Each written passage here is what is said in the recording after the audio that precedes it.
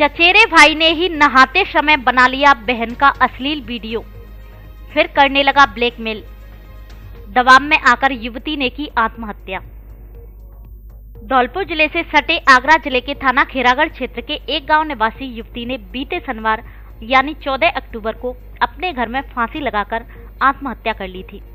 इसकी सूचना पर पहुँची पुलिस ने शव को पोस्टमार्टम के लिए भेज दिया था और मामले की जाँच में जुट गई थी। इसी दौरान पुलिस को युवती का एक सुसाइड नोट मिला। इसमें उसने गाँव के ही दो लड़कों, अभिषेक और विष्णु पर नहाते समय उसका अश्लील वीडियो बनाने की बात लिखी थी। साथ ही ये भी लिखा है कि आरोपी अश्लील वीडियो दिखाकर उस पर शारीरिक संबंध बनाने का दबाव बना रहे थे। इसमें आरोपी विष्णु, युवती के चाचा का बेटा है, जिसे पुलिस ने गिरफ़्तार कर लिया है।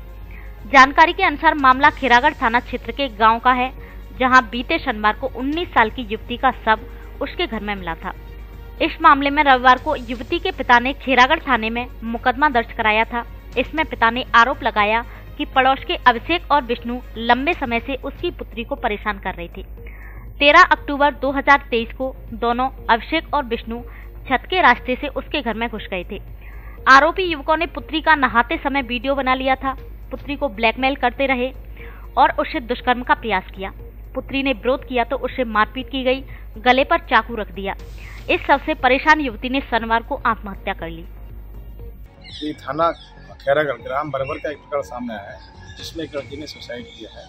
घर वालों ने बताया कि पड़ोस के दो लड़के, विष्णु और अभिषेक, विष्णु जो कि लड़की का चचेरा भाई है लड़की को परेशान कर रहे थे, जिससे आहत होकर लड़की ने सुसाइड किया है।